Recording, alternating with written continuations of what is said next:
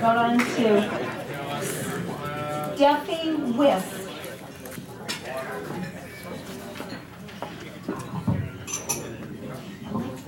I like feeling statuesque. All right, hold on. Steffi is a 2015 graduate of Monson Innovation High School with a 4.0 GPA and was also dual enrolled at Holyoke Community College. She plans to attend Western New England University to pursue a degree in pre-medical sciences to become an oncologist. She was named to the National Honor Society, was a member of her school swim team, and served as lifeguard for the community swim program. Steffi is the daughter of Mark and Marcy Wysk.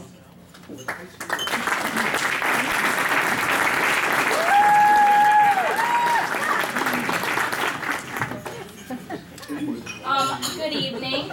My name is Stefania Wysk. I am currently a senior at Monson High School. I will be graduating this Friday. Um, in the fall, I will be attending Western New England University, majoring in health sciences with a pre-medical track, and I will be pursuing an accelerated master's degree.